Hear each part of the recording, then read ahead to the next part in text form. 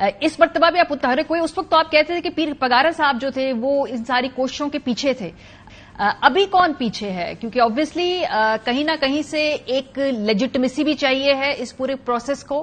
कहीं ना कहीं से कोई ऐसी ऐसा इदारा या कोई भी एक ऐसा सेंटर हो जहाँ पे एटलीस्ट कोई सालिसी करने की पोजीशन में भी हो। तो इस वक्त पाकिस्तान में ऐसा कोई शख्स है, कोई इदारा है, कोई शख्सियत है जो सालिसी करा भी सके?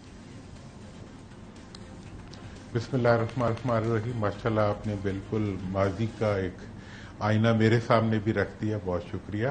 देखिए, माजी में जब ये बात मैंने की थी, उस वक्त जो तीन नुकात मैंने रखे थे, उनमें एक बुनियादी नुकता ये था कि सब लोग पार्लियामेंट में रह के पार्लियामेंट के अंदर रहते हुए आपस में बातचीत के ज़रिए मसलों को हल करें, उस वक्त भी रिजाइन की बात हो रही थी। तो और दूसरी बात मैंने ये की थी कि टकराव को कम करने के लिए आपको चाहिए कि अगर आप बॉलिंग करा रहे हैं तो अंपायर को गेंद ना मारें, बल्कि प्लेयर को दें, ताकि अगर आउट हो तो प्लेयर होगा, अगर अंपायर जख्मी भी हो गया, तब भी प्लेयर आउट नहीं होगा। ये भी मैंने कहा था। और तीसरा मैंने डायलॉग की बात की थी कि जो निगोसिएशन हैं, उनको जो है कौमी सतह के ऊपर और पार्लियामेंट के अंदर जो है सारी चीज़ें होनी चाहिए। और अब भी और उसका नतीजा भी यही निकला कि उस वक्त ऑपोजिशन रुक गई। जब ऑपोजिशन रुकी इस्तीफों देने से तो उसके बाद फिर उन्हें जो कुछ भी मिला वो एक प्रोसेस से मिला उस पर एतराज़ भी हो सकता है नहीं भी हो सकता लेकिन वो अमल जारी रहा शहबाज साहब आ गए उनकी हुकूमत आ गई हाँ। इस वक्त जो सूरत हाल है वो ये है कि देखें इस वक्त हम मल्टीपल क्राइसिस में फंसे हुए हैं। सही। एक तरफ़ आवाम है जो कि मतलब महँगाई की चक्की में पिस रहे हैं और उनका ये हाल है कि मतलब हम जब बाहर निकलते हैं तो हमारी आँखों में भी आँसू आ जाते हैं। ठीक बात दूसरी तरफ़ ये हाल है कि इतना शदीद पॉलिटिकल पोलराइजेशन है कि जिसके नतीजे में आवाम के अंदर मायूसी और एक इंतहाई डिग्री की मायूसी पैदा हो रही है। और एक पार्टी है जिसके बारे में कोशिश ये है कि जी उसको किसी टकराव की सिचुएशन में ले जाया जाए। हम्म। इस सूरत हाल में मैं तो जरा सुस्ता आदमी हूँ मुझे कोई ज़्यादा शौक नहीं है बाहर घूमने फिरने का या कोई आने जाने का लेकिन मेरे पे जो अपनी सराउंडिंग्स का प्रेशर बना और बिलखसूस जो हमारे कुछ दोस्त हैं जो इस वक्त मुख्तलिफ़ पार्टीज़ में हैं उनकी तरफ़ से ये क्राइसिस बना। फिर जो पीटीआई के लोग हैं जिनमें उनकी जो लीडरशिप है साथ मेरा जाति भी एक मरासिम है उनसे मेरी बातचीत हुई। तो मेरा उनसे यही सवाल था कि आप लोग क्यों टकराव चाहते हैं? टकराव तो आपको आपको सूट नहीं करता आपको तो इलेक्शन सूट करते हैं। तो उस वक्त मुझे ये सूरत हाल सामने आई जब मैं सदर साहब से मिला कि सदर साहब से लेके उनकी पार्टी का एक वर्कर तक जो है वो ये चाहता है कि हम टकराव के बजाय किसी गुफ्तो शनीद के ज़रिए बातचीत के ज़रिए ड्यू प्रोसेस ऑफ़ लॉ के ज़रिए हम जो है अपने आप के लिए एक रोल लेकिन दुरानी साहब अब ये मुख्तलिफ़ है मुख्तलिफ़ सूरत हाल है थोड़ी सी बिकॉज़ नौ मई हो चुका है। तहरीक इंसाफ इस वक्त शदीद पोलिटिकल और हर तरीके से इंतजामी प्रेशर के ज़रिए गुजर रही। इस वक्त उन्हें सूट करता है कि वो ये बातचीत भी करें वो रूल ऑफ़ लॉ की बात भी करें। नौ मई से पहले गालिबन वो ना इस मूड में थे ना इस पोजिशन में थे।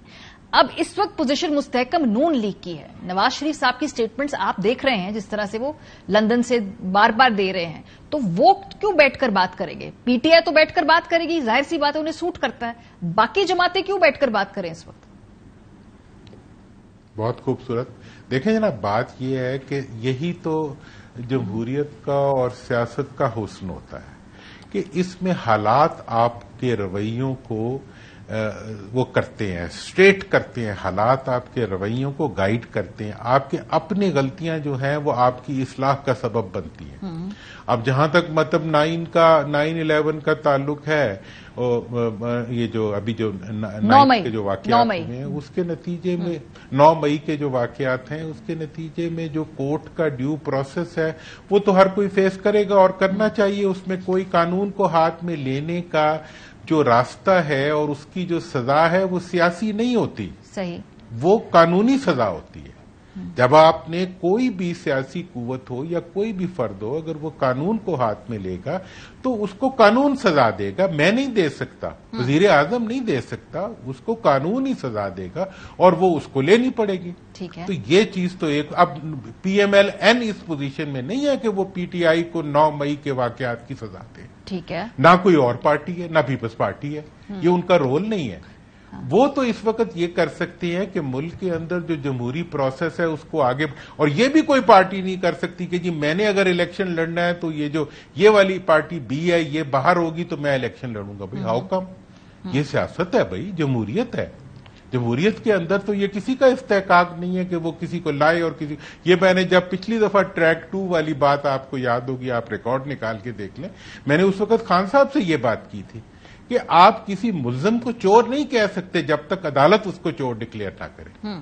इसी तरह से आप किसी भी किसी के एक्यूज को जिसके खिलाफ एविडेंस अभी प्रोसेस में हो उसको आप चोर नहीं डिक्लेयर उसको आप मुजरिम डिक्लेयर नहीं कर सकते। इसलिए उसके लिए आपको एक प्रोसेस को गुजरना पड़ेगा।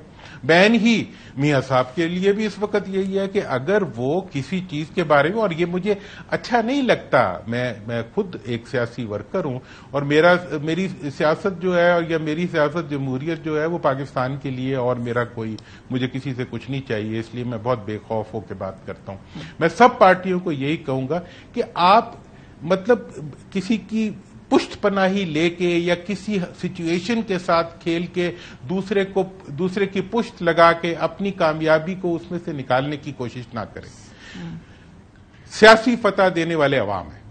अवाम को उनका हक दें, अवाम से उनका उनका वोट ले। सो दुराई साहब जैसे उस वक्त अवाम को इज़्ज़त दें। उस वक्त भी आपने जब गुफ्तगु की आप शहबाज साहब से मिलने जेल गए मौलाना साहब से बात की मौलाना साहब भी उस वक्त गुफ्तगु के मूड में नहीं थे।